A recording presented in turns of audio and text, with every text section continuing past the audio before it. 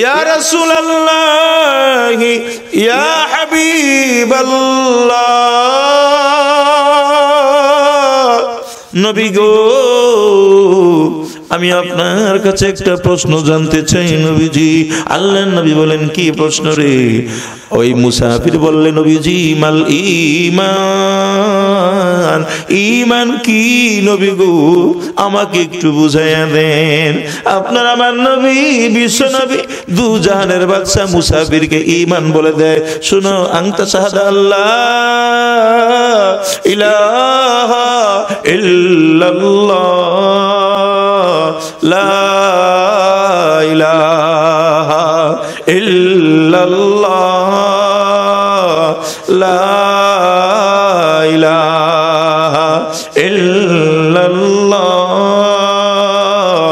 আপনারা চুপ করে বসে আছেন কেন?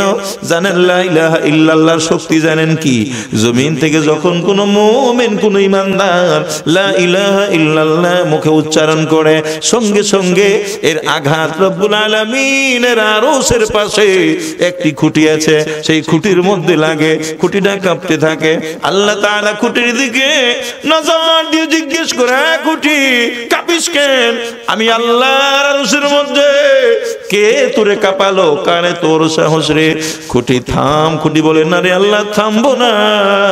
কেন রে থামবি না? আয় আল্লাহ, জমিন থেকে আপনার কি ইমানদার বান্দা, লা ইলাহা ইল্লাল্লাহ বলে আমাকে ধাক্কা দিয়েছে, যার কারণে আমি কাঁপতেছি। আমি থামতে পারব না। কি করলে থামবি রে খুঁটি? খুঁটি জবাব দে আল্লাহ!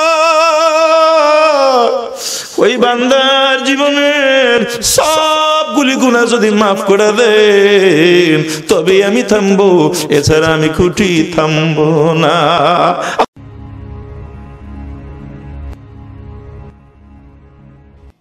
ইসলামিক মিডিয়া, সুস্থ সমাজ বিকাশের জন্য online Marcus TV.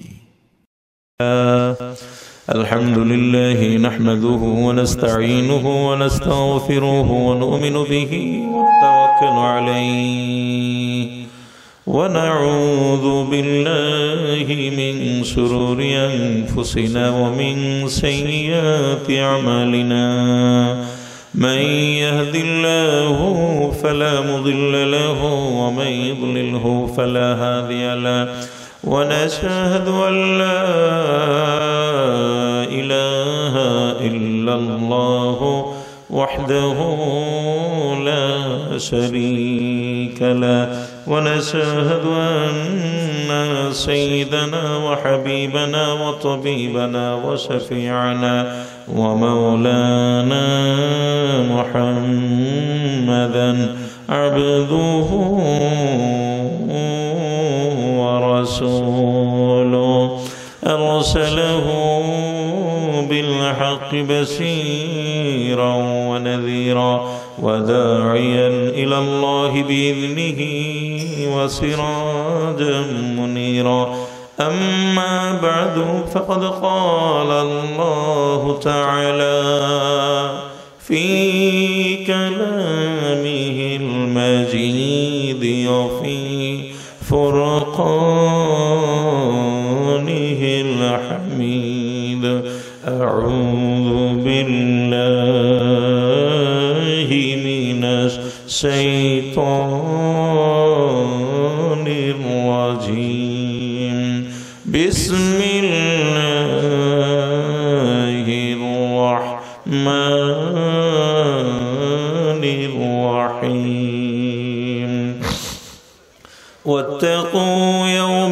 ترجعون فيه إلى الله.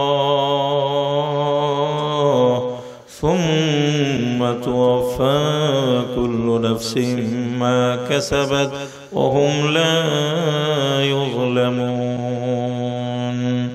وقال رسول الله صلى الله عليه وسلم من مات فقد قامت قيامته أو كما قال رسول الله صلى الله عليه وسلم إن الله وملائكته يصلون على النبي. يا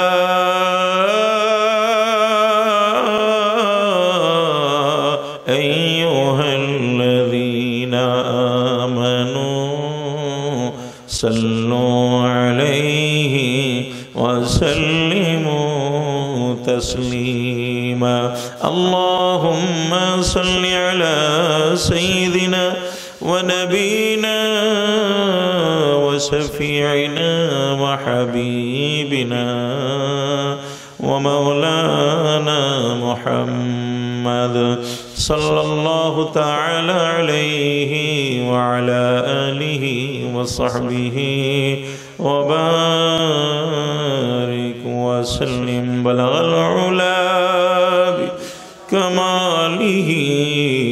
كشف الدجى بجماله حسنت جميع خصاله.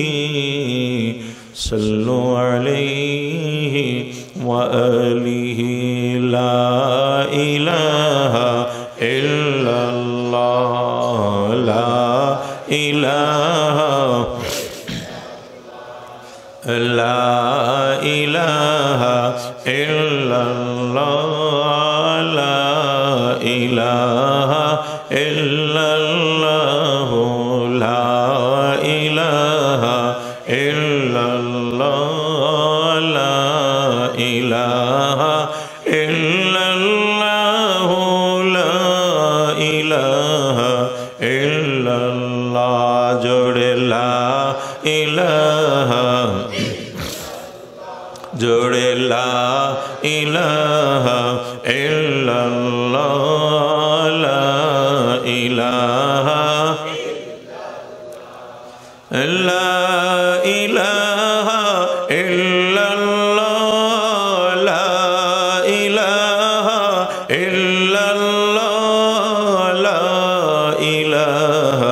illallah la ilaha illallah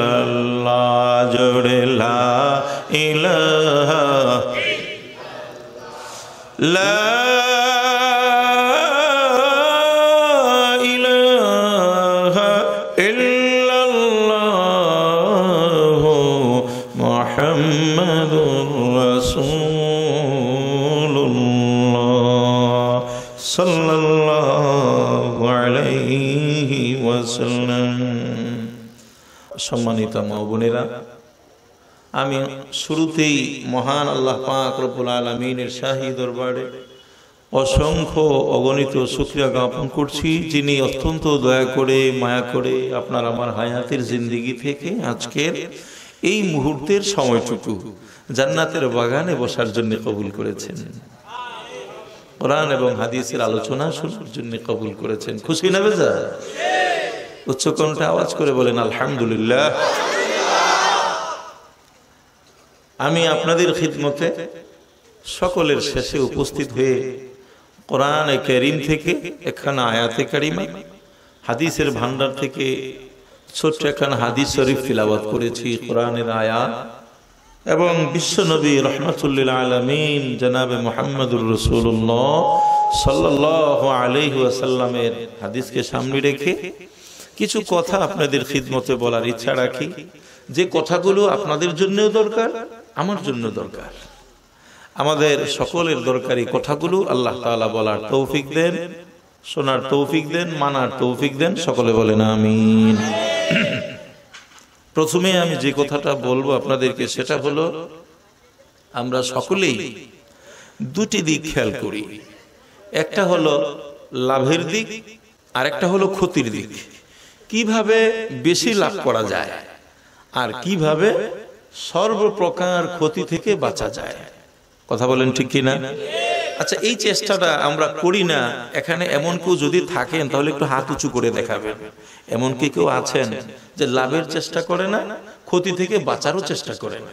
এমন কি কেউ এখানে আছেন? এমন কেউ নাই। আমরা সবাই লাভ চাই ক্ষতি থেকে বাঁচতে চাই।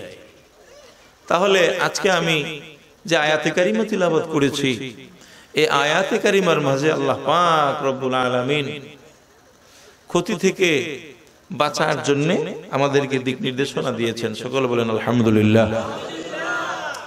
আর সমস্ত ক্ষতির মধ্যে সবচাইতে বড় যে ক্ষতি হবে আমাদের, সেই ক্ষতিটা হলো কেয়ামত, কেয়ামতের মাধ্যমে। কি বলেন, ঠিক কিনা?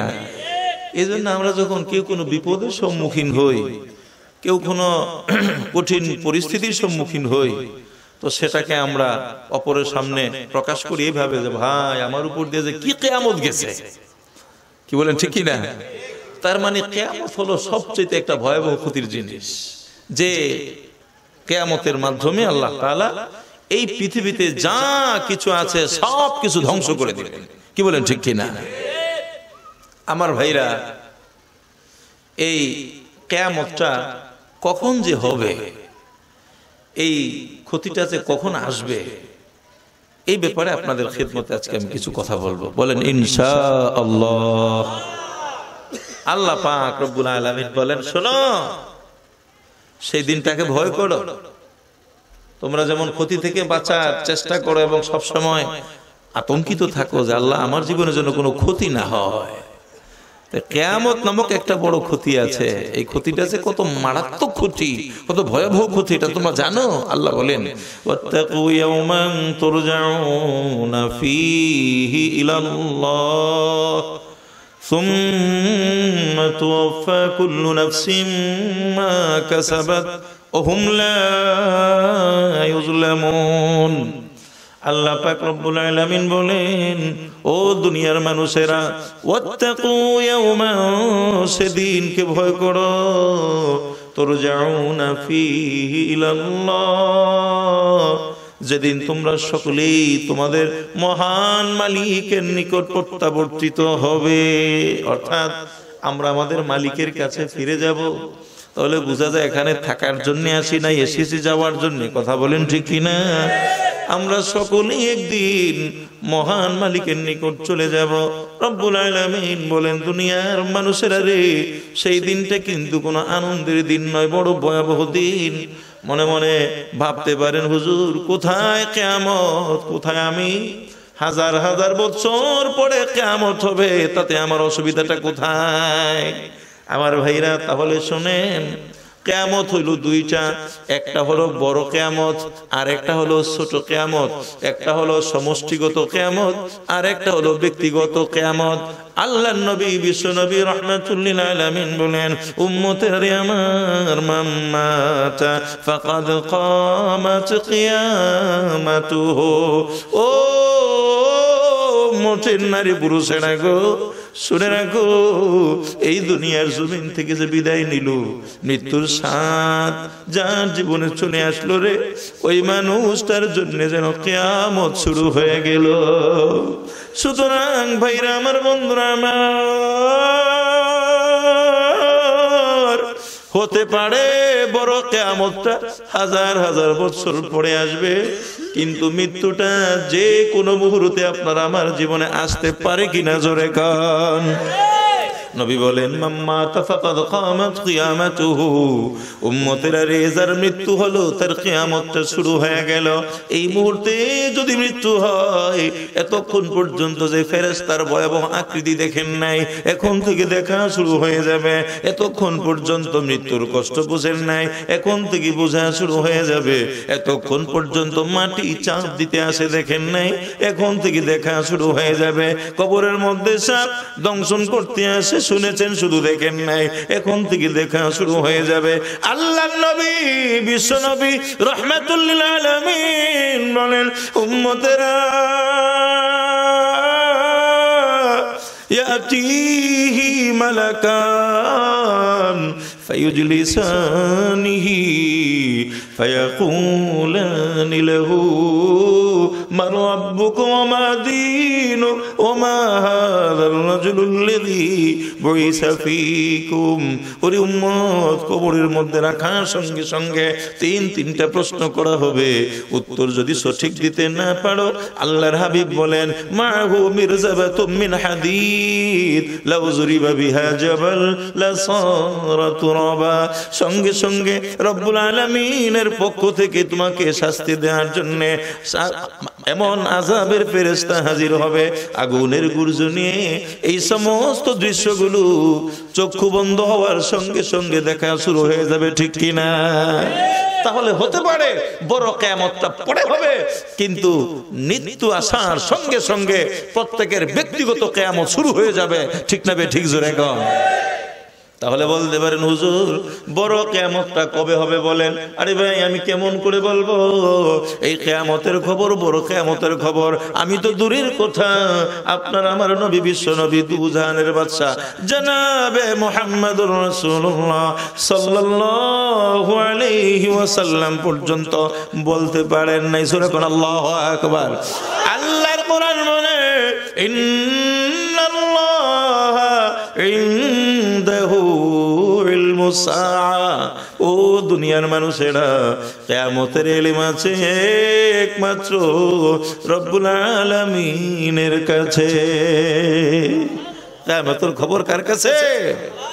আল্লাহ তাআলা বলেন, ও আমার হাবিব, ইয়াসআলুনাকা আনিস সাআতি আইয়ানা মুরসাহা ফীমা আনতা মিন যিকরাহা ইলা রাব্বিকা মুনতাহা।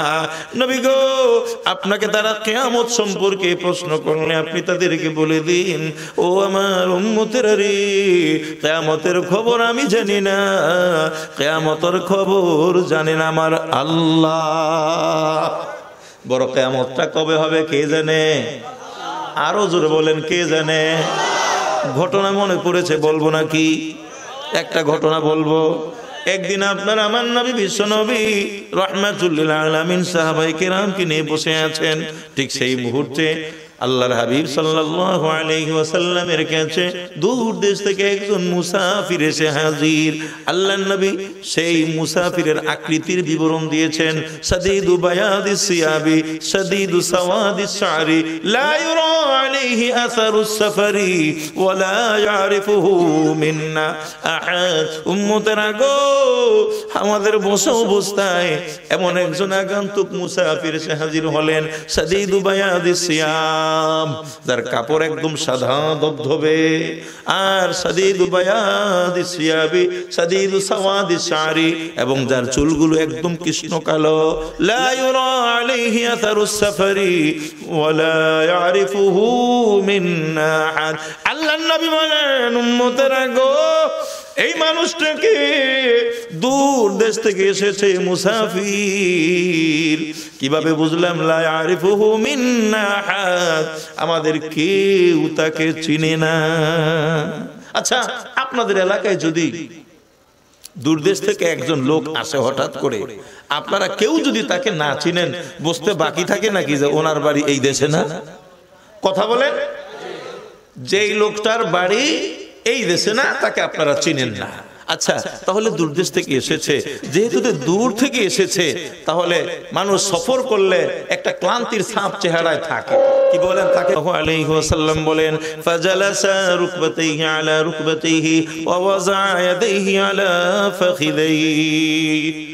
একজন নতুন মানুষ যদি এলাকার ভিতরে প্রবেশ করে, তাহলে একটু সরম সরম ভাব থাকে কি? থাকে না জোরে গান? বেশি মাতাব্বরি করে নাকি চুপচাপ থাকে। কিন্তু লোকটা দূর দেশ থেকে এসেছে আমরা কেউ তাকে চিনি না। চেহারার মধ্যে দূর থেকে আসার কোনো আলামত দেখা যায় না। আবার আসলো তো আসলো। মজলিসের ভিতরে ঢুকলো তো ঢুকলো বিশ্বনবী জানাবে মোহাম্মদুর রসুল্লাহ সাল্লাল্লাহু আলাইহি ওয়াসাল্লামের একেবারে সামনে গিয়ে বসল তো বসল। আমরা যেইভাবে আত্মাহিয়াতুর সময় বসে, ঠিক এইভাবে বসেছে। এবং তার হাত দুইখানে রানের উপর রেখেছে। এখন বলতেছে, আখবিরিনি নিয়া মুহাম্মদ মাল ইমান ইয়া রাসূলুল্লাহ, ইয়া হাবিবাল্লাহ। নবী গো আমি আপনার কাছে একটা প্রশ্ন জানতে চাই, নবীজি। আল্লাহ নবী বলেন, কি প্রশ্ন রে? ওই মুসাফির বললেন নবীজি, মাল ইমান ইমান। ইমান কি নবী গো? আমাকে একটু বুঝাইয়া দেন। আপনার আমার নবী, বিশ্ব নবী, দু জাহানের বাচ্চা মুসাফিরকে ইমান বলে দেয়। শুনো আংতা শাহাদা আল্লাহ, ইলাহা ইল্লাল্লাহ, লা ইলাহা ইল্লাল্লাহ।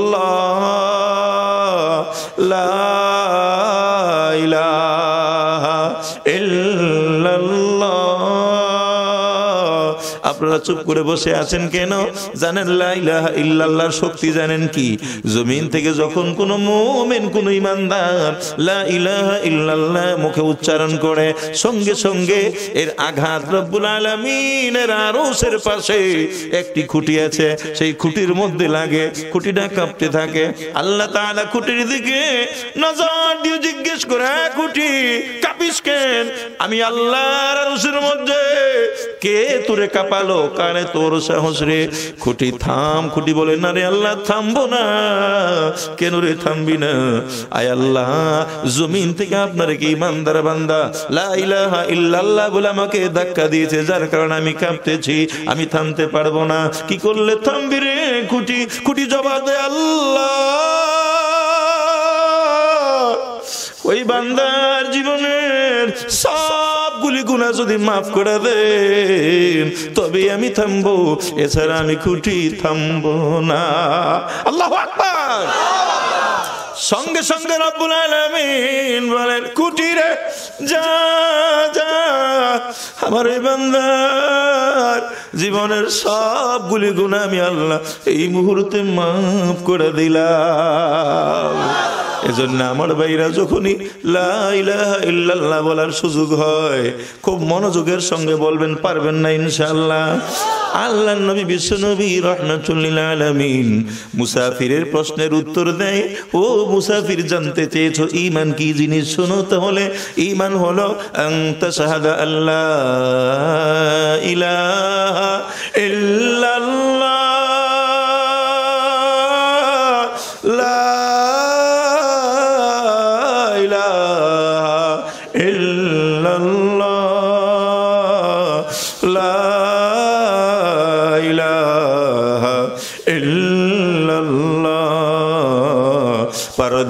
ہستی اگر سوزی بنا رے لا الہ آزما بے پردہ بینی نور اللہ اللہ اکبر امار ভাইরা امار بندورا امار شیخ مرسید আল্লামা ডক্টর মুস্তাক আহমদ সাবদ আহমদ বরকতুল আলিয়া বলেন বাবা আল্লাহর এমন ভাবে ডাকবা, মনে করবা, আমি যেন আল্লাহকে দেখি, আমি যেন আল্লাহকে দেখি, আমি যেন আল্লাহকে দেখি। এই মনোভাব নিয়ে যখন ডাকতে থাকবা, আমি যেন আল্লাহকে দেখি, আমি যেন আল্লাহকে দেখি। একটা সময় এমন আসবে যেন শব্দটুকু মাঝখান থেকে উদাও হয়ে যাবে। আমি যেন আল্লাহকে দেখি, এই কথাটা থেকে যদি যেনটাকে বাদ দেয়া হয়, তাহলে কি থাকে জোরে কন? আমি আল্লাহ আল্লাহ আকবার। আমি আল্লাহকে দেখি আল্লাহ আকবার। ইয়া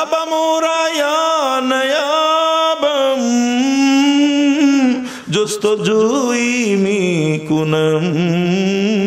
হাসলা ইয়াদ ইয়া নয়ায়াত আরজুয়ে মি কুনম হাসলা ইয়াদ ইয়া নয়ায়াত আরজুয়ে মি কুনম লা ইলাহা ইল্লাল্লাহ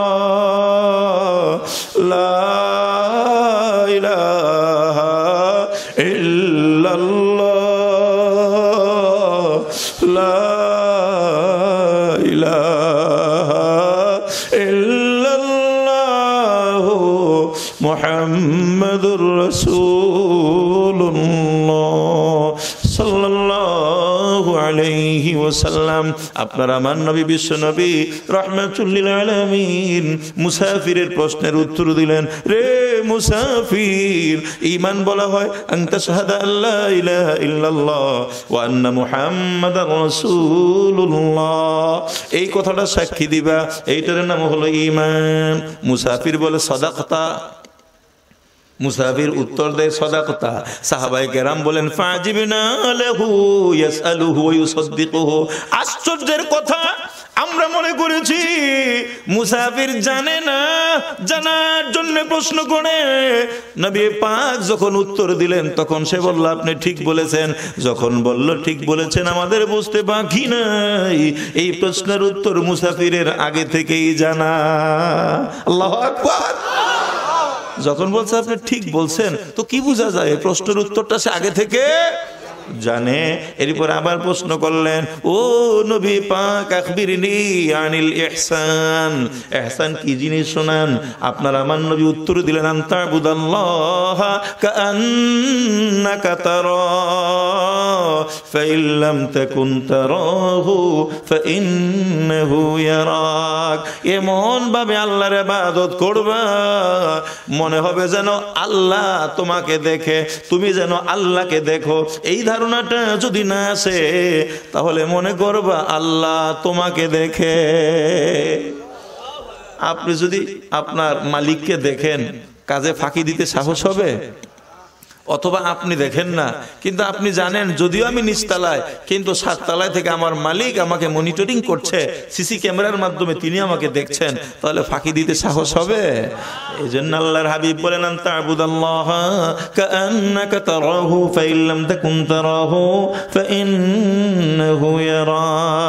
ওই মুসাফির বললেন কেরাম বললেন আশ্চর্য হয়ে গেলাম। নবী পাক উত্তর দিলে সে বলল আপনি ঠিক বলেছেন। আমরা দেখতে থাকলাম আরও কি কি প্রশ্ন করে। এরপরে ওই মুসাফির প্রশ্ন করলেন, ইয়া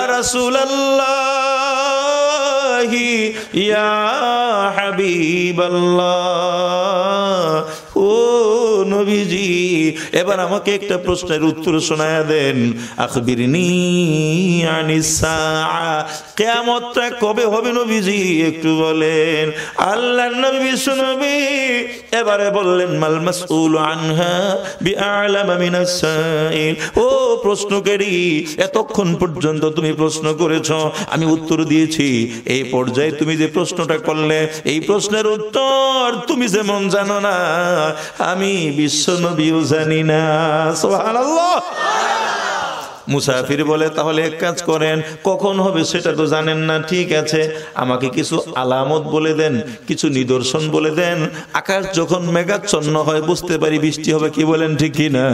এমন কিছু নিদর্শন বলেন, যা দেখলেই বুঝতে পারব, দুনিয়াটা ধ্বংস হয়ে যাবে, কেয়ামত কায়েম হয়ে যাবে। নবী পাক বলেন হ্যাঁ হ্যাঁ কিছু নিদর্শন বলতে পারি, কিন্তু কবে যে কেয়ামত হবে, সেটা বলতে পারব না। আল্লাহর হাবিব বলেন আন তালিদাল আমাতু রাব্বাতাহা ওয়া আন তারাল হুফাতাল উরাতাল আলাতা রিয়াশাই ইয়াতাতাওয়ালুনা ফিল বুনিয়ান। এখানে বললেন এই কয়েকটা। আরেকটা হাদিস শরীফ মনে পড়েছে, এটাকে এখানে রাখলাম। ওই হাদিসটা বলি, তারপর এখানে আসব। ওই হাদিসটা তিরমিজি শরীফের হাদিস, হযরত আবু হুরায়রা রাদিয়াল্লাহু তাআলা আনহু থেকে বর্ণিত। আন আবি হুরায়রা রাদিয়াল্লাহু তাআলা تعالى عنه قال قال رسول الله صلى الله عليه وسلم إذا اتخذ الفيء دولا والأمانة مغنما والزكاة مغرما وتعلم لغير الدين وأطاع الرجل امرأته وعق أمه وأدنى صديقه وأقصى أبا وساد القبيلة فاسقهم وكان زعيم القوم أرزلهم وأكرم الرجل مخافة شره وظهرت الأصوات وظهرت القينات في المعازف وشربت الخمور ولعن آخر هذه الأمة أولها. فارتقبوا عند ذلك ريحا حمراء وزلزلة وخسفا ومزخا وقذفا وتتابع كنزام قطع سلكه فتتابعا. رواه الترمذي أو كما قال رسول الله صلى الله عليه وسلم الله أكبر আল্লাহ নবী বিশ্ব নবী রহমাতুল্লিল আলামিন বলেন উম্মতেরা গো দুনিয়াটা কবে ধ্বংস হয়ে যাবে? সুনির্দিষ্টভাবে বলতে পারি না, কিন্তু এমন কিছু নিদর্শন বলে যাই, যে নিদর্শনগুলি যখন দেখবে, তখন বুঝ- নিবে, আর দুনিয়া ধ্বংস হইতে বেশি দিন বাকি নাই। এখন তাহলে আপনারা এই নিদর্শনগুলি শুনবেন কি নিয়তে? যে নবী পাক বলেছেন, এগুলি ঘটবে তো ঘটবেই, এই জন্য শুনবেন। নাকি নবী পাক বলেছেন, এই সমস্ত ঘটনা যখন ঘটবে, তখন দুনিয়া ধ্বংস হবে এই সমস্ত ঘটনা সবার মাধ্যমে যদিও ঘটে, কিন্তু আমার মাধ্যমে যেন এই ঘটনা না ঘটে। দুনিয়া ধ্বংসের কারণ আমি যেন না হই, যে কোনো মূল্যে এই সমস্ত কাজগুলো থেকে আমি বেঁচে থাকব। কি বলেন, এই নিয়তে শুনলে ভালো হয় না ইনশাআল্লাহ? তাহলে চলেন শুনি। আল্লাহর হাবিব সাল্লাল্লাহু আলাইহি ওয়াসাল্লাম এক, বলেন এক নাম্বার। এক নাম্বার, ইজা তুকিদাল ফি উদিওয়ালান উম্মতেরা যখন দেখবা সরকারি মাল সরকারের লোকজন, কর্মকর্তারা বাগজুগ করে খায়। মনে করবা, দুনিয়া ধ্বংসের বেশি দিন বাকি না এখনও মনে হয় ওই জামানাটা আসে নাই। আর আসলে আমাদের বাংলাদেশে এই ঘটনা ঘটে না। সরকারের মাল সরকারি কর্মকর্তারা ভাগবাটোয়ার খায়। এই ঘটনা আমাদের বাংলাদেশের না, এটা অন্য কোনো রাষ্ট্রের কথা বলতেছি, তাই না? হ্যাঁ হয় ঘটনা? আল্লাহ আল্লাহ। যদি এখানে কেউ সরকারি কর্মকর্তা থাকেন, তাহলে আপনি কি নিয়ত করবেন যে, হুজুর, এটা তো স্পিড মানি এটা খাইলে শরীরে খুব শক্তি হয় এই জন্য এটা না খাইলে তো দুর্বল হয়ে যাব? সেই হিসেবে এটা খাওয়া লাগে। এই নিয়ত করছেন নাকি এইটা খাইলে দুনিয়া ধ্বংস হয়? আমি দুনিয়া ধ্বংসের কারণ হব না, এজন্য আমি এগুলি থেকে বেঁচে থাকব। এই নিয়ত করলে ভালো হয়। এটা ভালো হয় না? আল্লাহ হেফাজত করেন বলেন, আমিন। এক নাম্বার শুনলে নিজের তুকিদাল ফাই উদ্দি বলেন, রাগ করবেন কইলে? রাগ করল কিছু করার নাই, রাগ না করল কিছু করার নাই। এটা তো আমার কথা না, এটা তো আমাদের বিশ্বনবীর কথা। কথা ঠিক না বেঠে? দুই নাম্বারটা শোনেন কারও কাছে যখন কোনো জিনিস আমানত রাখা হবে, যখন আমানতের খেয়ানত করতে থাকবে, আমানতদার খুঁজে দুনিয়ার জমিনে পাওয়া যাবে না। আমানতের মাল গনিমত মনে করবে, এজন্য আমরা বাংলায় কি বলি কয়, টাকা যার কাছে যায় তার কথা কয়, ঠিক কিনা এই টাকা যার কাছে যায়, তার কথা কয়। এই যে স্লোগানের দ্বারা বোঝা যায়, আমার আর দুনিয়াতে নাই, ঠিক না বে ঠিক? ও ভাইরা, আমার বন্ধুরা, আমার আপনার আমার নবী, বিশ্ব নবী, রহমাতুল্লিল আলামিন আসলেন তো মক্কায়, হিজরত করলেন মদিনায়। যেদিন নবী পাক মদিনায় হিজরত করে যাবেন, সেদিন পর্যন্ত যাদের নির্যাতনে এই নিজের বাসভবন, জন্মস্থান, এই মাতৃভূমি সব কিছু ছেড়ে যান। যাদের অত্যাচারের কারণে ওই সমস্ত মানুষগুলোর ধন সম্পদ এই আল আমিন নবীর কাছে, বিশ্ব বিশ্ব নবীর কাছে, নবী পাকের কাছে আমানত ছিল। ইচ্ছে করলে মনের রাগে তাদের সম্পদগুলো নিয়ে যেতে পারতেন। তোদের জন্য যখন আমি দেশে থাকতে পারলাম না, তোদের সম্পদগুলো ফেরত দিব না। এই কাজটা করলে করতে পারতেন কি পারতেন না? না না, আপনার আমার নবী এই কাজ কিন্তু করেন নাই। হজরত আলী তাআলা আনহুকে ডাকলেন আর বললেন, রে আলী এই মক্কার মানুষগুলো আমাকে বিশ্বাস করে, তাদের টাকা পয়সা আমার নিকট আমানত রেখেছে। এই আমানতের বোঝা আমি তো হালকা করতে পারলাম না। যার যার আমানত তার তার কাছে পৌঁছে দিতে পারলাম না, আলী তুমি আমার বিছানায় শুয়ে থাকবে রে আলী। সবার আমানত সকালবেলা সবার নিকট পৌঁছে দিবা। এরপরে তুমি এসে হিজরত করে আমি নবী পাকের সঙ্গে মদিনায় সাক্ষাৎ করবা। হযরত আলী তাআলা আনহু বলেন, ও দুনিয়ার মানুষেরা, আলীর জীবনে যদি কোন রাত্রে সবচাইতে বেশি আরামের ঘুম ঘুমিয়ে থাকে, সেই রাতের ঘুম ছিল আলীর জীবনে সবচাইতে বেশি আরামের ঘুম। আর আমরা হইলে কি বলতাম যে, হুজুর, আপনাকে মারতে আসতেছে। তারা দারুন্নাগয় বৈঠক করেছে, আপনাকে মেরে ফেলবে চিরতরে। এবং এক এক বংশের এক একজন নৌজওয়ান আপনার এই হত্যাকাণ্ডে অংশগ্রহণ করবে, যাতে কোরাইশ বংশ এককভাবে এতগুলো বংশের মোকাবেলা করতে সক্ষম না হয়। আপনাকে এসে যখন পাবে না, আমাকে আস্থা রাখবে না। সুতরাং আর যাই হোক, আজকের রাতে আমি আপনার বিছানায় ঘুমোতে পারব না। এই বক্তব্যটা আলীর দেওয়া কথা ছিল, কিন্তু হজরত আলী বলেন, না, আমাকে বিশ্ব বিশ্বনবী বলেছেন। তুমি সকলের আমানত, সকলের নিকট পৌঁছে দিয়ে মদিনায় আমার সঙ্গে সাক্ষাৎ করবে। যখন বিশ্বনবীর জবান দিয়ে বের হয়েছে আলী তুমি আমার সঙ্গে মদিনায় সাক্ষাৎ করবে। আমার বিশ্বাস হয়ে গিয়েছে, নবী পাকের সঙ্গে মদিনায় সাক্ষাৎ করার পূর্ব পর্যন্ত মালাকুল মুদ আজরাইলের সঙ্গে আলীর সাক্ষাৎ হবে না। এই জন্য সবচেয়ে বেশি আরামে ঘুমাইছি সেই রাত্রে। জোরে কোন আল্লাহ আকবার। আমার ভাইরা, আমার বন্ধুরা হযরতে আলী রাদিয়াল্লাহু তাআলা আনহু নবী পাকের নিকট রাখা আমানতগুলো সকলের নিকট পৌঁছে দিলেন। এমন করুণ মুহূর্তেও যেই নবী আমানতের খেয়ানত কোনোদিন করেন নাই। ও ভাইরা রে আমার আমাদের নিকট টাকা পয়সা রাখলে কয়, টাকা যার কাছে যায়, তার কথা কয়টা কি ঠিক নাকি? নবী পাক বলেন আমানা তোমার নামান উম্মতের রে, যখন দেখবে আমানতের খেয়ানত হয়, মনে করবা আর বেশি দিন লাস্টিং করবে না। আর বেশি দিন দুনিয়া টিকবে না, ধ্বংস হয়ে যাবে। এরপরে আল্লাহর হাবিব বলেন জাকাতু জাকাতের বিধান কার? আরও জোরে বলেন, এই বিধানটা কার? আল্লাহর বিধান আল্লাহ আপনাকে সক্ষমতা দিয়েছে, আরেকজনকে দিবেন। বলেন, উপরের হাত নিচের হাতের আল্লাহ আজকে আপনার রেখেছে, ওই আল্লাহ যদি আপনারা কাতারে রেখে অন্যের নিকট হাত আপনি বিছাইতেন, এই পরিস্থিতিটা আপনাকে দিতে পারার ক্ষমতা আছে না নাই আমার আল্লাহর? আল্লাহর হাবিব বলেন মাগরামান যখন থেকে জাকাত দেয়াটাকে মানুষ জরিমানা মনে করবে জাকাত যখন হিসাব করে দিবে না, মনে করবা দুনিয়ার বেশি দিন থাকবে না। কয়টা গেল? তিনটা। অত উল্লিমালি দিন দিন এলেম শিখবে, দুনিয়া কামাই করার জন্য। আমাদেরটা বলে ভালো এলাম আর কি। কতদূর আমগুলি কইলেন? আপনারা কইবেন না। নবী আমাদেরটা বলছে দিন দিনী যখন শিখবে দুনিয়া কামাই করার জন্য। হুজুর, বুঝলাম না দিনী এলেম দিয়ে কীভাবে দুনিয়া কামাই করে। দেখবেন বক্তা একজন এক কণ্ঠে বয়ান করে, এই কণ্ঠের বক্তা হাজার হাজার হয়ে যায় কেমনে?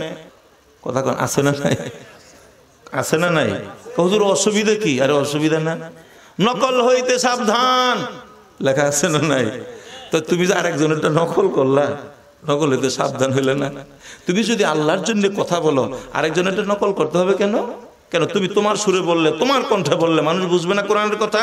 তা আরেকজনেরটা নকল কল্লায়ের অর্থ হইল, তুমি চাও ভাইরাল হইতে, তুমি চাও ফেমাস হইতে, তোমাকে সবাই চিনুক, সবাই জানুক মার্কেট বাড়ুক। আল্লাহর হাবিব বলেন ওতুল্লিম আলী দিন, ঠিক কিনা জোরে কান। এ ভাইরা আমার বন্ধুরা আমার, পরীক্ষার হলের ভিতরে যদি নকল ধরা পড়ে, তাহলে মনে হয় তিন ঘণ্টার জায়গায় ছয় ঘণ্টা লিখতে দেয়। না? তিন ঘণ্টা বাড়াই দিয়েছে তো এটা বোনাস। তুই যেই জিনিস করছস, তোরা হায়াত তিন ঘণ্টা বাড়াই দিলাম। হায়াত দেয় না সঙ্গে সঙ্গে বের করে দেয়। তাহলে বোঝা গেল নকল জিনিসটা খুব ভালো। বরকতময় জিনিস না খারাপ জিনিস? মনে রাখবা, দিনকে যারা দুনিয়ার জন্য বিক্রি করবে, এই পরিস্থিতি যখন আসবে, বুঝবা, দুনিয়া ধ্বংসের আর বেশি দিন বাকি নাই। অনেকক্ষণ বলা যাবে। যদি বলতে থাকি, এরপরে পরের দিন দেখবেন আমার বিরুদ্ধে এই রকমের কমেন্টস আসতে শুরু করবে যে দেশে থাকা বিপদ হয়ে যাবে। ভাই এই জন্য আমি খুব ভয় পাই এগুলি রে। আল্লাহ মাফ করেন কোন আমিন? আমাদের সবাইকে মাফ করেন। আমিন, জোরে কন? আমার ভাইরা, আমার বন্ধুরা, আল্লাহর হাবিব সাল্লাল্লাহু আলাইহি ওয়াসাল্লাম বলেন ওয়াজাহারাতিল আসওয়াত মসজিদের ভিতরে যখন সরগুল হবে, মসজিদ ছিল আল্লাহর ঘর, কার ঘর? কই, প্রধানমন্ত্রীর সামনে দাঁড়ায় তো কোনোদিন তুমি চিৎকার করো না, কোনোদিন চেঁচামেচি করো না, খুব ভদ্র হয়ে যাও, সভ্য হয়ে যাও, শান্ত হয়ে যাও। এলাকার টপ টেরর কিন্তু প্রধানমন্ত্রীর সামনে গেলে তুমি ফেরেস্তা প্রধানমন্ত্রীকে এতটা ভয় করো, প্রধানমন্ত্রীর চাইতে আমার আল্লাহর ঘরটা দামি না বেদামি? আরও জোরে কোন কি? এমন দামি আল্লাহর ঘরে যখন ঢুকলা, রহমতের ফেরেস তারা সঙ্গে সঙ্গে তোমার জন্য রহমতের দোয়া করতে শুরু করল। এই জন্যই তো তুমি দোয়া করল আল্লাহ আফতাহলি আবু রহমতি ও আল্লাহ দুনিয়ার মানুষের ঘরে ঢুকলে মানুষ মেহমানদারি করে। আপনার ঘরে আমি গুনাগার ঢুকি, আল্লাহ। আপনি কি আমার মেহমানদারি করবেন না? আয় আল্লাহ, দুপুরের খানা চাই না, পঞ্চাশটা টাকা চাই না। আল্লাহ মাফতাহলি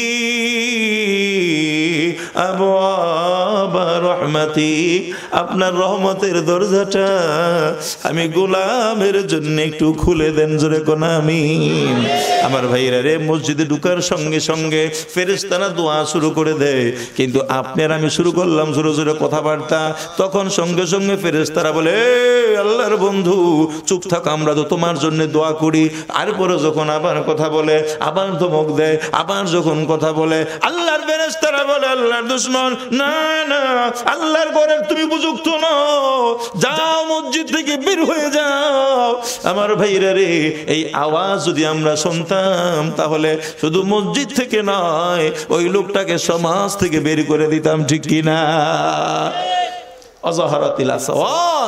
মসজিদে যখন সরগুল হবে, কি বলেন, হয় কি হয় না? সাপ্তাহিক মুসল্লিরা, বাকিওয়ালারা নগদ লাগত ধমকা, একটা কথা আছে না? বাকিওয়ালারা, যে বাচ্চারা সারা সপ্তাহ নামাজ পড়ে, শুক্রবার দিন এলে হ্যাঁ সামনে জায়গা পায় না। আর যদি সবে ভরা সবে কদর হয়, তাইলে তো আর কথাই নাই। ঠিক না বেঠি সাবধান।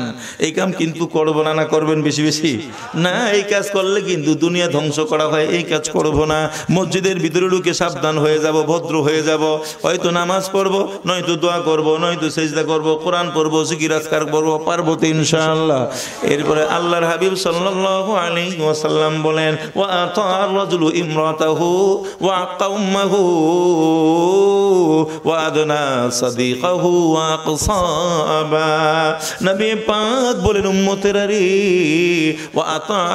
ইমরাতাহু।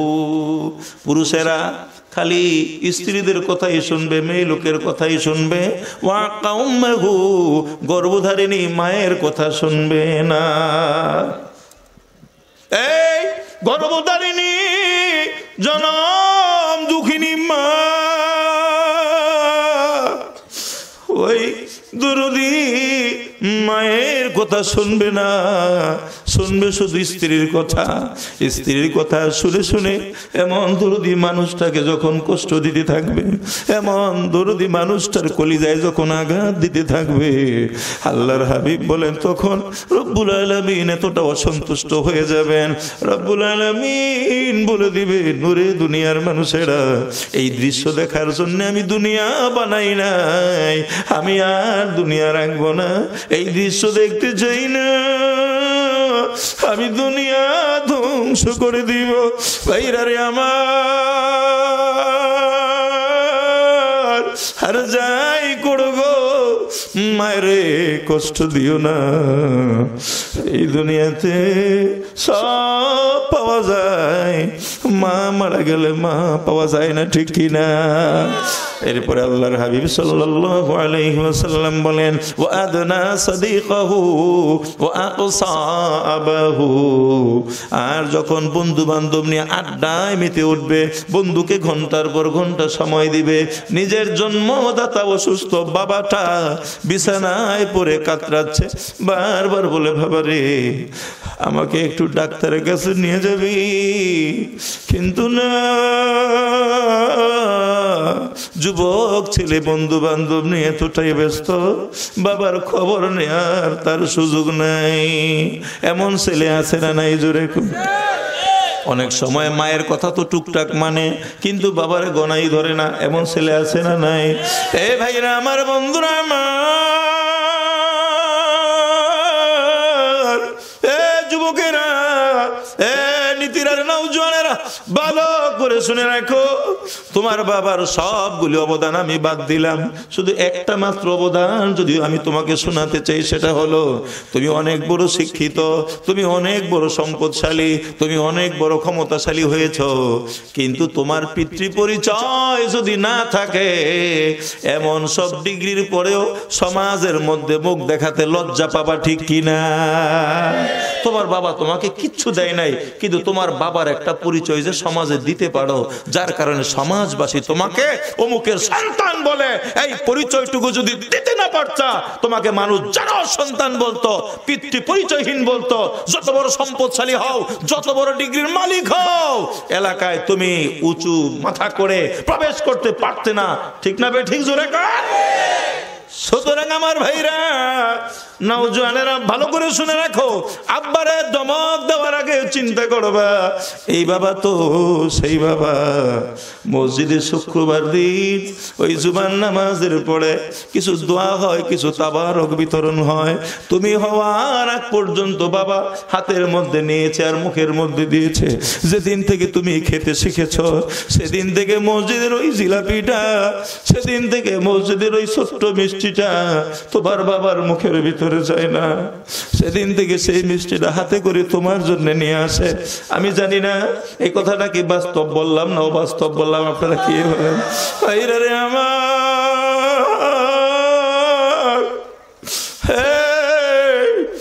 আমার বাবা দুনিয়ার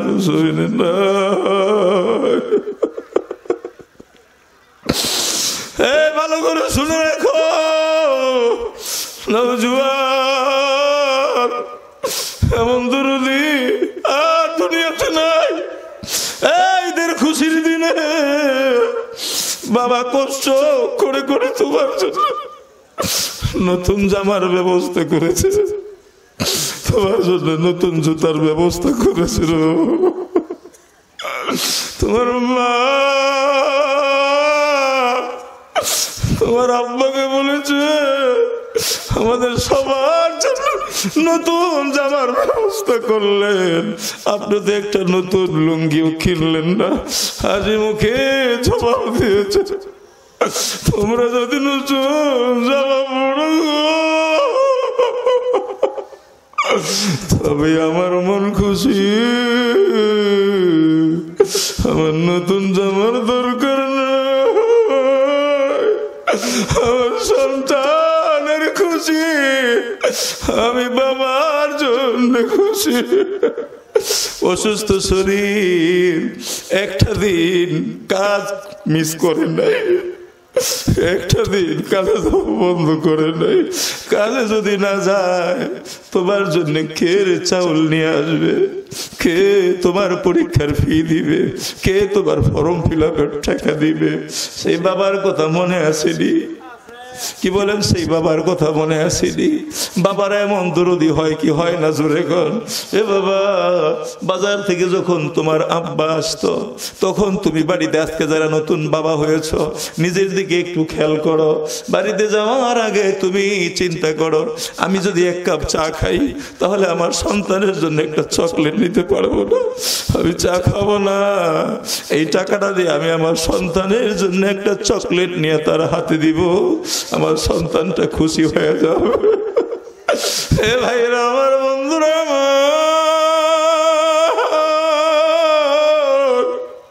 তুমি সামান্য অসুস্থ হয়েছ, তো তোমার বাবার ঘুম নাই। এই হাসপাতাল, ওই হাসপাতাল দৌড়াদৌড়ি করে। আজকে সেই বাবা ওষুধ আড্ডা দাও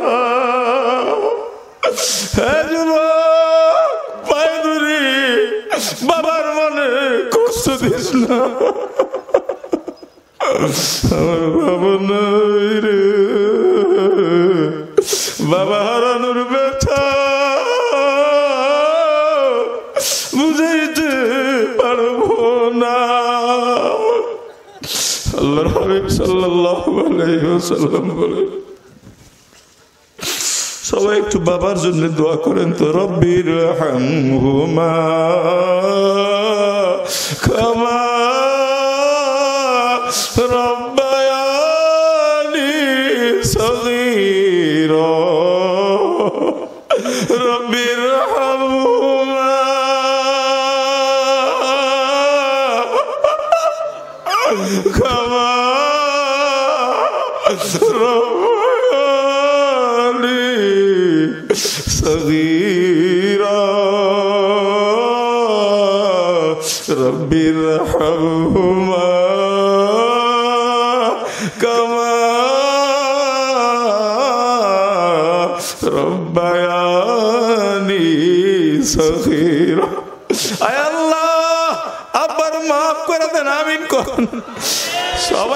আল্লাহ।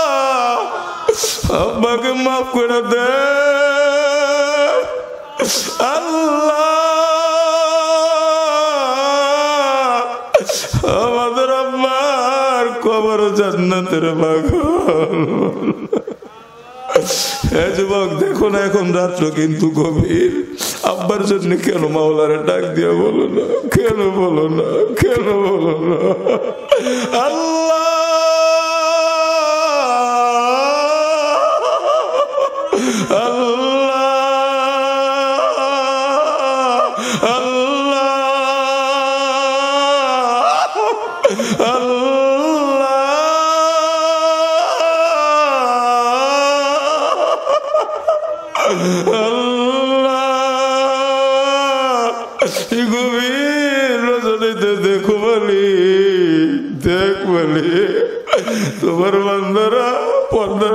আলে তোমার বান্দিরা কেন আব্বার কথা স্মরণ করে কান দেখো কেন আব্বার কবরে আজাদ দিয়ে আমার আব্বার কবর গুলি জান্নাতের বাখান বানায় দেন। যাদের বাবা জীবিত আছে পায়ে ধরে অনুরোধ করব রে বাবা। আব্বার বলে কষ্ট দিস না বাবা। বাবা, বিছানায় শুয়ে ছটফট করে অসুস্থতা। তুমি বন্ধু বান্ধব নিয়ে আড্ডায় মস্ত। আল্লাহর হাবিব বলেন, এমন দৃশ্য যখন দুনিয়াতে ঘটবে, আল্লাহ এতটা অসন্তুষ্ট হবেন যে দুনিয়াটা ধ্বংস করে দিবেন। আমার ভাইরা, আমার বন্ধুরা, এরপরে আল্লাহর হাবিব সাল্লাল্লাহু আলাইহি ওয়াসাল্লাম বলেন ওয়াসাদাল কাবিলাতা ফাসিকুহুম ওয়া কানা জাইমুল কৌমি আরযালুহুম উম্মুতিরা গো এই দুনিয়াটা ধ্বংস হওয়ার এরপরের যে নিদর্শন, যখন দুনিয়াতে এমন দৃশ্য দেখবে কৌমের নেতা কৌমের লিডার কৌমের সর্দার, যখন কৌমের ভিতরে, ওই গোত্রের ভিতরে সবচেয়ে নিকৃষ্ট যেই মানুষটা, সেই মানুষটা যখন গোত্রের নেতৃত্ব দিবে, মনে করবা, এই দুনিয়া ধ্বংস হতে আর বেশি দেরি নাই। ওসাদ আল কাবিলাতা ফাসিকুহুম এখন তো সব সমাজের নেতারা তাহাজ্জুদ গুজার। এখন তো সব সমাজের নেতারা আল্লাহওয়ালা। এখন তো সব সমাজের নেতারা সুন্নতওয়ালা। তাই না?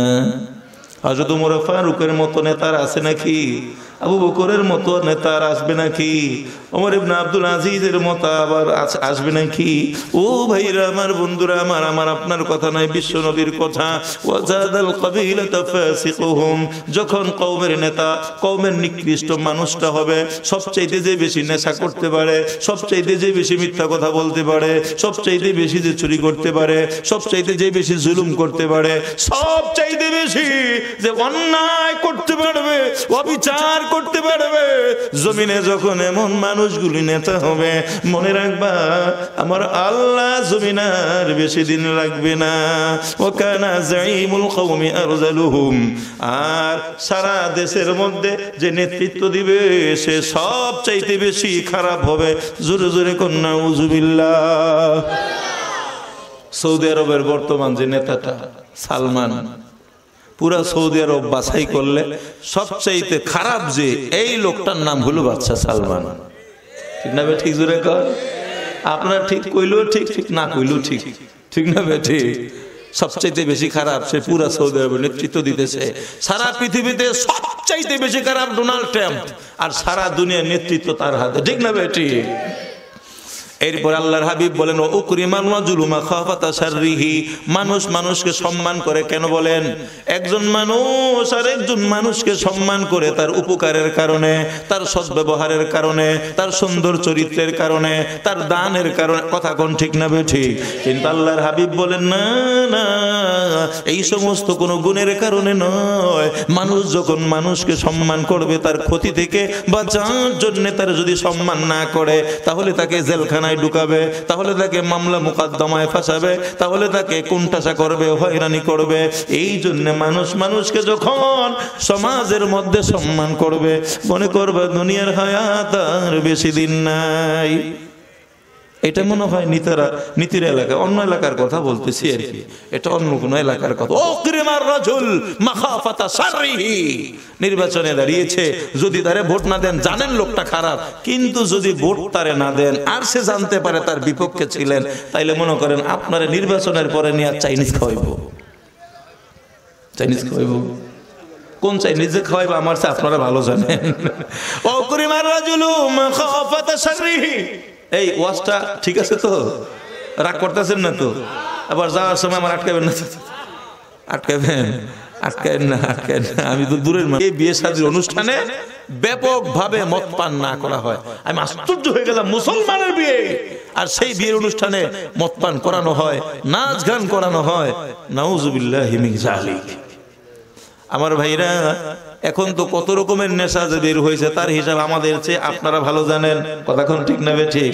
অসুরি বাতিল খামন, নেশা বেড়ে যাবে। আবার নেশা তো নেশা।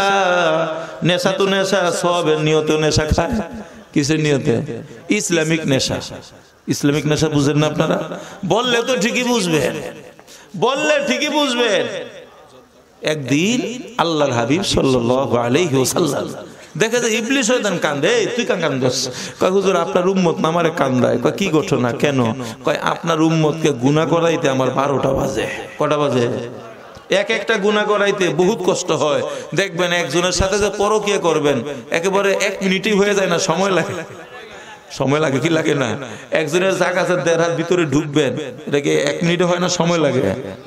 সময় লাগে কি না? সময় লাগে বড় কষ্ট হয়। ইবলিস শয়তান কয়, হুজুর, বড় কষ্ট করে গুনাহ করাই। এত কষ্ট করার পর আপনার উম্মত যখন অনুভব হয়ে বলে, আল্লাহ, আস্তাগফিরুল্লাহ, ভুল করছি maaf করে দেন। maaf চাইতে দেরি, আল্লাহ maaf করতে দেরি করে না। এই দুঃখে আমি কান্দি। বিশ্ব নবী বলেন শয়তান তবে তো আমার খুশির কোনো সীমা নাই। শয়তান কয়, নবী গো, এত খুশি হবার কোনো সুযোগ নাই। আমার কাছে ডিজিটাল প্রযুক্তি আছে না উজুবিল্লাহ কি প্রযুক্তি? কি প্রযুক্তি? কয়, সেটা কোনটা? কয়, আপনার উম্মত গুনাকে গুনা মনে করে। এই জন্য না তওবা করে, লা ইলাহা ইল্লাল্লাহ, লা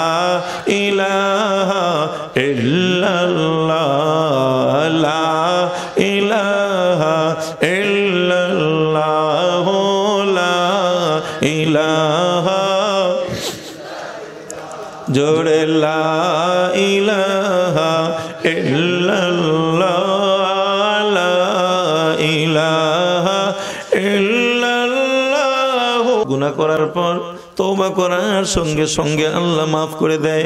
আমি বড় কষ্ট পাই, এই জন্য কাঁদি। আল্লাহর হাবিব বলেন, তাহলে তো আমার জন্য খুশি। ইবলিস শয়তান কই নবীজি, আমার কাছে ডিজিটাল প্রযুক্তি আছে। এমন প্রযুক্তি ব্যবহার করব, আপনার উম্মত মাফ নেওয়ার আর কোনো সুযোগ পাবে না। নবীজি কই, সেটা কি? কয়, গুনাকে গুনাহ মনে করে। এই জন্য মাপ চায়। করবে গুনাহ মনে করবে স্বভাব তাইলে তো আর মাপ টাপ চাইব না। কি কোন ঠিক না? একটা ছেলে বিড়ি খায়, এটাকে অপরাধ মনে করে। এই জন্যে ছেলেটা কোনো মুরব্বী দেখলে বিড়িটা লুকায় অথবা ফেলে দেয়। কিন্তু যদি মনে করে বিড়ি খেলে সব হয় তাহলে ফালাইবো নাকি? কি, ফালাইবো নাকি? বাস্তব একটা ঘটনা মনে পড়ছে, শুনবেন? লঞ্চের সফর ছিল, আসার পথে চিন্তা করলাম, অনেক লম্বা সময়ের সফর তো, একটু পিছনে ঘুরে আসি। গেলাম পিছনে, গিয়ে দেখি ময় মুরব্বী কয়েকজন একসঙ্গে বসা। তো চিন্তা করলাম, ওনাদের সামনে একটু থাকি, তার কারণ চতুর্দিকে খালি টিভি আর টিভি। এখানে নিরাপদ জায়গাটা, দাঁড়াইলাম। দাঁড়ায় দেখি কিছুক্ষণ পর ওনারা পটলা খুইলা কি জানি বের করে ডলে। তো আমি চিন্তা করি কি ঢলে? তো ডলা ডলাডলিতে বুঝি না একটু পরে দেখি বিড়ি বের করে বিড়ির ভিতরে যা ছিল সব ফেলে দিয়ে এরপর ওগুলোর ভিতরে ঢুকাইছে। কারণ আমারও চুল বড় বড়, তো হজর সফর এরপরে চুল কাটা ফেলছে, তার আগে চুল বড় ছিল। এখন মনে করছে, মাথায় টুপি নাই, মনে করছে আমি বুঝে এখন দলের একজন। আমার কয়, ভাই বিসমিল্লা করেন। আমি কই, এটা কি? কই, এটা চিনেন না, এটাই এইটা। আমি কি মানে? আরে, টান দিয়ে দেখেন, আল্লাহরও দেখবেন রসুলও দেখবেন। কারবারটা দেখছেন? আমি কই তাইলে এটার নামই গাঞ্জা, আপনারা গাঞ্জা খোর। ভাই আমাকে যারা কয়, গাঞ্জা খোর গো সদ্য গোষ্ঠী জোতা চোর। যারা কয়, গাঞ্জা খাইস না ও কাছে দিয়ে যাইস না। আমি কই তোমাকে এই কথা আমার কিছু যায় আসে না, চোদ্দ গোষ্ঠীকা যদি আঠাশ গোষ্ঠী জুতা চোর হয়, তারপরে তোমরা গাঞ্জা খোর গাঞ্জা খায় আর মনে করে, খাইলে আল্লাহ দেখা যায়, রসুলও দেখা যায়। এই আকিদায় বিশ্বাসী কিছু মানুষ আছে না নাই? কিছুদিন আগে আপনাদের আপনাদের বড় পরিশ্রমের, আপনাদের সংগ্রামের ফসল। এখানে একটা মাজার ছিল, সকলের কাছে সুপরিচিত। এই মাজারটা আপনারা জেহাদ করে বন্ধ করেছেন। এই সমস্ত মাজারগুলোর ভিতরে এই নেশা দ্রব্যকে সব মনে করে সেবন করা হয়। এই জন্য আমরা বাংলাদেশ সরকারের নিকট দাবি জানাব, আপনি যেহেতু আপনি যেহেতু নেশা মুক্ত দেশ গড়তে চান, আমাদের সকলের দাবি থাকবে, বাংলাদেশের সবগুলি মাজার যদি আজকে বন্ধ করে দেন, আগামীকাল থেকে বাংলাদেশ থেকে নেশা, দ্রব্য সমূলে বিদায় নেবে। জোরে কোন ঠিক না বেঠে? এই জন্য আমার ভাইরা, আমার বন্ধুরা, নেশা, দ্রব্যের কারখানার নাম হইল মাজার।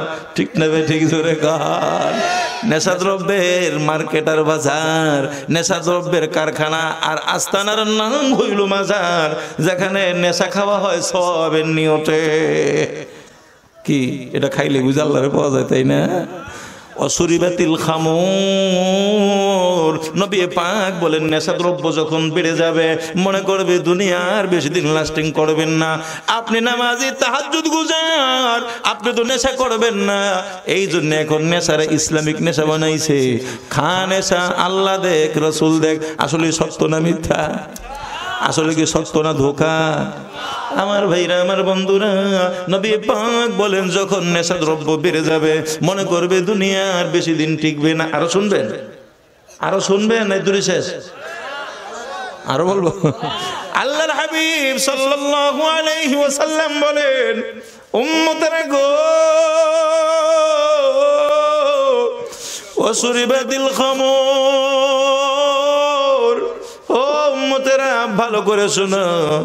ওজাহরাতিল কাইনাত ওয়াল মাআজিব। ওজাহরাতিল কাইনাত ওয়াল মাআজিব। নর্তকীর সংখ্যা বেড়ে যাবে? কিসের সংখ্যা? জোরে কোন কিসের সংখ্যা? নর্তকী আর বাদ্যযন্ত্রের সংখ্যা যখন বেড়ে যাবে? একটা সময়ে মুসলমানের বিবাহ শাদী মসজিদে হইতো। বিবাহ শাদী এটা একটা এবাদত জোরে বলেন কি? এটা একটা এবাদত কিন্তু এবাদতটা এখন উৎসবে পরিণত হয়েছে। শুধুমাত্র উৎসবে হ্যাঁ বিবাহকে কেন্দ্র করে উৎসব কিছুটা হতে পারে, কিন্তু শুধুমাত্র লাগামহীন উৎসবের নাম বিবাহ নয়। মনে রাখবা, উৎসবের পাশাপাশি কিন্তু এটা একটা এবাদত ঠিক কিনা এই জন্য আমার ভাইরা, আমার বন্ধুরা, আশ্চর্যের ব্যাপার হলো এখন আমাদের মুসলমানের সন্তানের বিয়ে সাদের ভিতরে গায়ে হলুদ হয়, নাচানাচি হয় হয় কি হয় না জোরে কন? আরও আসল খবর শোনাই আপনাদেরকে। আমার মাহফিল ছিল কুরিল বিশ্ব রোড। সেখান থেকে আসার পথে যাত্রাবাড়ি প্রচণ্ড জ্যাম। তো গাড়ি একেবারে সামনে এগুচ্ছেন এমন একটা পরিস্থিতি। ওই মুহূর্তে দেখি কয়েকটা লোক মানে ওরা পায়ে হেঁটে যাচ্ছে, কোনো গাড়িও পাচ্ছে না। রাত্র তখন প্রায় দুইটা। তখন আমি এদেরকে দেখে গাড়িটা ব্রেক করলাম। ড্রাইভারকে বললাম, এদেরকে উঠায় নাও। তো উঠাইলো। তো চিন্তা করলাম, একটু পরিচয় হই, কি ঘটনা এত রাত্রে তারা কেন? জিজ্ঞেস করলাম যে, ভাই, তোমরা কোথেকে আসলা? কি করে আসলা? কয়, হুজুর, আমরা ডান্স করে আসলাম। আমি কই, ইন্না খুদা, এই এই ইবলিশ হাসানগুলোর গাড়ি তুলেলাম কামটা করে দিকে এবার ডান্স করে আসলো। এরা মুসলমান, ওই ছেলেও আছে, মেয়েও আছে না উজুবিল্লাহ বলেন। আল্লাহর হাবিব বলেন অজহরাদিল কাইনাতুল মাজিব। বাদ্যযন্ত্রের সংখ্যা যে, আগে তো শুধু দুল ঢোল তবলা ছিল, এখন যে কত রকমের যন্ত্র বের হয়েছে তার হিসাব আপনাদের কাছেও নাই, আমার কাছেও নাই, ঠিক কিনা এরকম পরিস্থিতি যখন আসবে, মনে করবা, তখন আর দুনিয়া বেশি দিন লাস্টিং করবেন না। এ ভাইরা, আমার বন্ধুরা, আমার এখন তো গান বাজনা, ইসলামী গান বাজনায় পরিণত হয়েছে। কয়, মারে ভাদের গান বাজনা আছে না নাই? আপনাদের এলাকায় কই আবার কোন মাছ দিয়ে খায়? আল্লাহ জানে রে কোথা মায়ের দিলে দিবে, নবী কইছে, আমার কথা তো না। ঠিক না বে, ঠিক? এগুলি যখন বৃদ্ধি পাবে, তখন মনে করবেন দুনিয়া বেশি দিন লাস্টিং করবে না। এখন ইসলামের নামে গান গায়। ডোল তবলা দিয়া, আছে না নাই? আমার ভাইরা ও এগুলি হইল আলামত। মনে রাখবেন, এগুলি যখন বেশি বেশি হবে, দুনিয়া লাস্টিং করবে না। হাবিব বলেন শেষ জামানার লোকেরা প্রথম জামানার লোকদের ভুল ধরবে, গালি দিবে। এরকম যখন হবে, তখন মনে করবা দুনিয়াটা আর বেশি দিন টিকবে আচ্ছা বলেন তো নবীজিকে যারা পাইছে, তাদের নাম যেন কি? সাহাবি। আল্লাহর হাবিব বলেন, খাইরুল কুরুনি কারনি, সুম্মাল্লাযীনা ইয়ালুনাকুম সুম্মাল্লাযীনা ইয়ালুনাকুম শোনো। আমার যুগটা হইল সর্বশ্রেষ্ঠ যুগ, আমার পরের যুগ হইল এর পরে শ্রেষ্ঠ এর পরের যুগ হইল এর পরে শ্রেষ্ঠ এর পরে যত দূরে যাবে, তত নিচের দিকে নামতে থাকবে। কথাটা কার? নবী পাকের কথা, জোরে কোন কার কথা? নবী পাকের কথা, দুনিয়ার লাইনে যত পিছনে যাবে তত লেটেস্ট একটার পর একটা লেটেস্ট আসতে থাকে। আবিষ্কারের উপরে আবিষ্কার, গবেষণার উপরে গবেষণা। ঠিক না ঠিক জোরে আর দিনের লাইনে আসেন।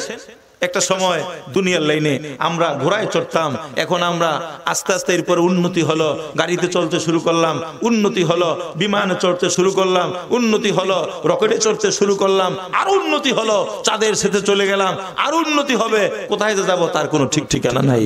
ঠিক না ঠিক জোরে কন? একটা সময় ছিল, চিঠিপত্রের আদান প্রদান ছিল, উন্নয়ন হলো, রেডিওর ব্যবস্থা হলো, উন্নয়ন হলো, মোবাইলের ব্যবস্থা হলো, উন্নয়ন হলো, ফেসবুক, ইন্টারনেট, ইউটিউবের ব্যবস্থা হলো জোরে কোন ঠিক নেবে? ঠিক। এইভাবে দুনিয়ার লাইনে উন্নয়নের কোনো শেষ নাই। আরও হতেই থাকবে, কিন্তু দিনের লাইনে উন্নয়ন না, বরং নিচের দিকে যাচ্ছে। কথা বলেন ঠিক কিনা?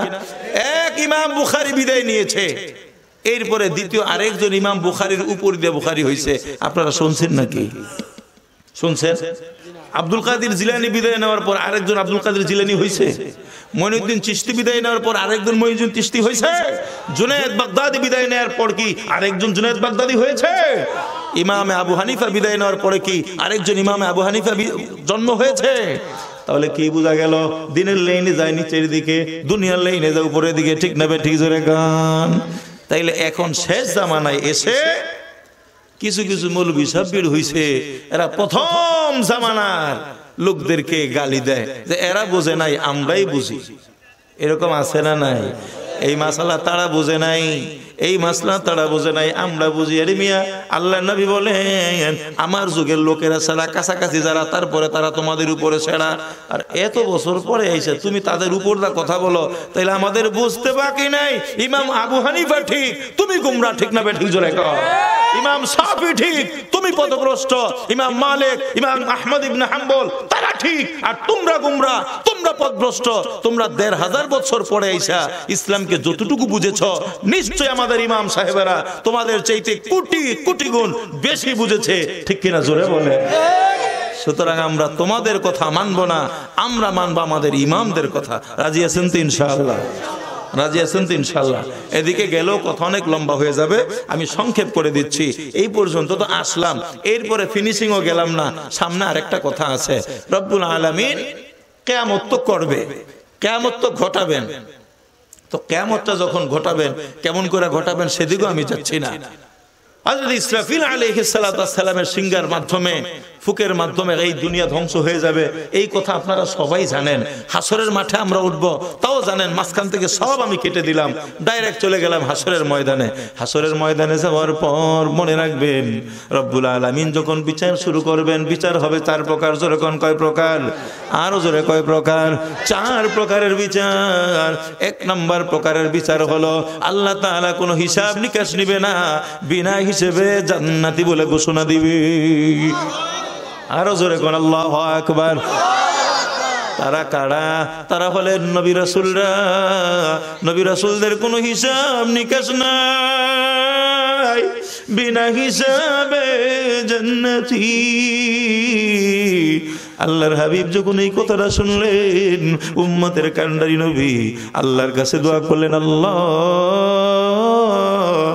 আমার উম্মত থেকেও আপনি বিনা হিসেবে জান্নাতি উম্মত কবুল করে নে আল্লাহ বলেন, নবীজি, আপনি যদি দরখাস্ত দেন, নবী গো, আপনার দরখাস্ত আমি ফিরাই না। নবীজি, আপনার উম্মত থেকে আমি সত্তর হাজার উম্মতকে বিনা হিসেবে জান্নাতি হিসেবে কবুল করে নিলাম। হযরত ওমর ফারুক রাদিয়াল্লাহু তাআলা আনহু কথাটা শোনার পরে বললেন, ইয়া রাসূলুল্লাহি, ইয়া হাবিবাল্লাহ। এই পরিমাণটা যখন আল্লাহ কবুল করলেন আর বাড়ানোর জন্য আরেকটা দরখাস্ত যদি দিতেন, আল্লাহর হাবিব বলেন ওমর আমি দরখাস্ত দিয়েছি। ওমর বলে, রেজাল্ট কি? আল্লাহর হাবিব বলেন ওমর রে, রেজাল্ট হলো আল্লাহ আমার দ্বিতীয় দরখাস্ত ও কবুল করেছে। আমার আল্লাহ বলেছেন, নবীজি, এই সত্তর হাজারের এক একজনের সঙ্গে আরও সত্তর হাজার করে বিনা হিসেবে জান্নাতি হিসেবে কবুল করে নিলাম। কয় প্রকারের হিসাব হবে? চার প্রকার। এক নাম্বার প্রকারটা আপনাদের পছন্দ হয়। এই যে এক নাম্বার প্রকারের যে হিসাব, এই হিসাবটা কার কার পছন্দ হয়? হাত উঠান। আল্লাহ সবার পছন্দ? সবাই এই প্রকারের বিচারটা চান। আল্লাহ কবুল করেন বলেন, আমিন। আমার আমার বন্ধুরা, এখানে প্রশ্ন আছে কোনো নাই, আমাদের তো আছে। আমাদেরকে যদি বিনা হিসেবে আল্লাহ দেয় যাবে কোথায়? আল্লাহর হাবিব যারা গুনাহ করার পর তওবা করে ফেলে, তারা যেন জীবনে গুনাহই করে নাই, জোরে কোন সুবহানাল্লাহ। তাহলে গুনাহ হয়ে গেলে সঙ্গে সঙ্গে তওবা করে ফেলব। তাহলে জান্নাতে যাওয়া যাবে বিনে হিসেবে নবী রাসূলদের সঙ্গে। আল্লাহ কবুল করেন, সকলে বলেন আমিন। এক নাম্বার তো গেল আর কয়টা রইল? তিনটা। রাত্র অনেক হয়ে গেছে, এই তিনটা থাক। না?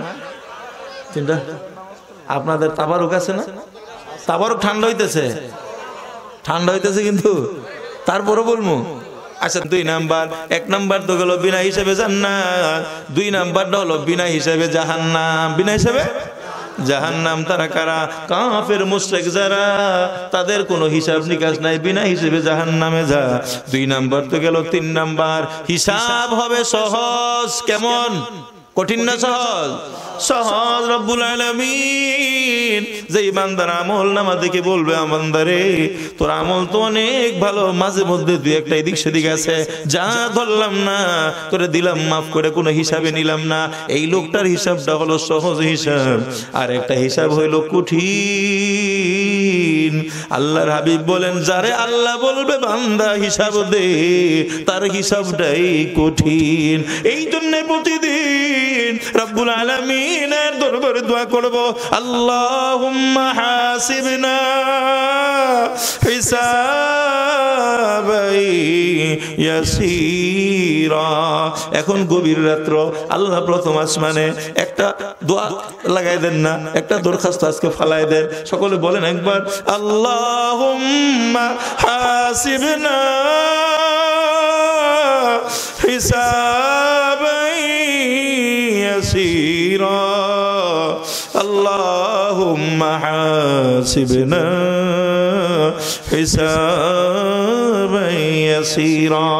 দোয়াটা রাখবেন, প্রতিদিন আমল করবেন।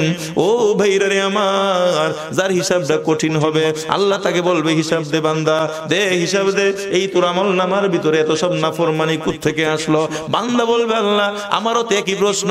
আমি তো আব্দুল কাদির জিলানি ছিলাম। আমার আমল নামার মধ্যে এত নাফরমানি কোথ থেকে আসলো? আল্লাহ বলবেন, বান্দা, এই আমলগুলো কি তুই করিসনি? বলবে, না না এগুলি তো একটা আমি করি না। আল্লাহ সামনে মিথ্যা কথা, নাউজুবিল্লাহ কর মনে করছে এটা বুঝি দুনিয়া, মার্ডার কইরা জেলখানায় গেছে, নেতায় ফোন দিছে খুলে বাস, ওখান থেকে চলে আসছে। এটা বুঝি এইটা। আল্লাহ কই মনে করেছিস কি কোনো সাক্ষী নাই? বলে যে আল্লাহ সাক্ষী থাকলে দেখান। রব্বুল আলামিন সঙ্গে সঙ্গে বলবেন, এই কিরামা কাতিবিন ইয়ালামুনা মা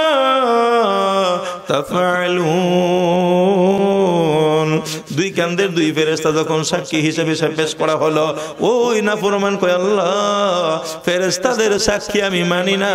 তার কারণ ফেরেস্তা যেগুলি লেখছে, আমি তো তাদেরকে দেখি নাই। এজন্য মানি না। আল্লাহ কয় আচ্ছা যেই জমিনে দাঁড়ায়া তুই নাফরমানি করেছিস, সেই জমিন যদি সাক্ষী দেয়, তাহলে তুই বিশ্বাস করবি? বলে যে পারলে দেখ সাক্ষী। তখন জমিন বলে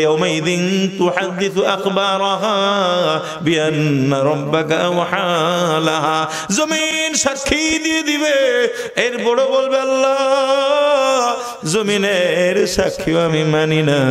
আল্লাহ পাক রব্বুল আলামিন তার সামনে আমল নামা পেশ করবে। ওয়াবুদিয়াল কিতাব ফাতারাল মুজরিমিন। মুশফিকিনা মিম্মা ফি যখন আমল নামা পেশ করা হবে কয় না এই আমল নামা আমি বিশ্বাস করি না এবার রব্বুল আলামিন মুখটা স্টপ করে দিবে বন্ধ করে দিবে আল্লাহর কোরআন বলে আল ইয়াউমা নাখতিমু আলা আফওয়াহিহিম ওয়া তুকাল্লিমুনা أيديهم وتشهد أرجلهم بما كانوا يكسبون دست گوید من چونی دوز دیدم لب گوید من چونی بو سیدم چشم گوید دیدم سو یہ حرام गोश गोयाद चीदम सनरुल कलम जिसको मैं समझा था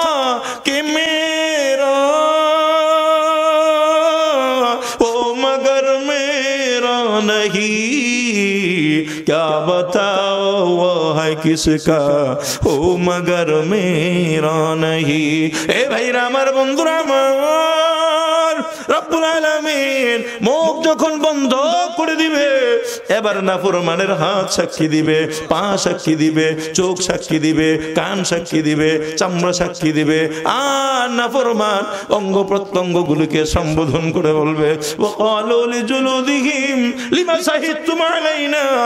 আমার শরীরের অঙ্গ গো কেন আজকে তোমরা আমার বিরুদ্ধে সাক্ষী দিচ্ছ? তোমাদের আরামের জন্য, মজার জন্যই তো নাফরমানি করেছে। অঙ্গ প্রত্যঙ্গ উত্তর দেবে। কালু আংকাকানাল্লাহুল্লাযী আংকাকা কুল্লা শাই যেই রব্বুল আলামিন দুনিয়াতে মুখকে কথা বলার জন্য পারমিশন করেছিলেন সিলেক্ট করেছিলেন। যদি দুনিয়াতে আল্লাহ কথা বলার জন্য মুখকে সিলেক্ট না করে হাতকে সিলেক্ট করতেন তো মুখের জায়গায় হাত কথা বলতো। ঠিক না ভাই ঠিক জোরে কন? যে আল্লাহ আমাদেরকে স্টপ রেখেছিলেন সেই আল্লাহ আজকে কথা বলার পারমিশন দিয়েছেন ওখানে বন্ধ রেখেছেন বলতে পারি নাই সব দেখে শুনে সহ্য করেছি আজকে সব মালিকের সামনে বলে দিব। যখন এই অবস্থা হবে তখন বলবে যে আল্লাহ আল্লাহ, আমি তো জানতাম না যে এরা যে সবাই আমার বিরুদ্ধে। এখন আপনার কাছে আমার একটা দরখাস্ত কয় কি? কয়, দরখাস্তটা হলো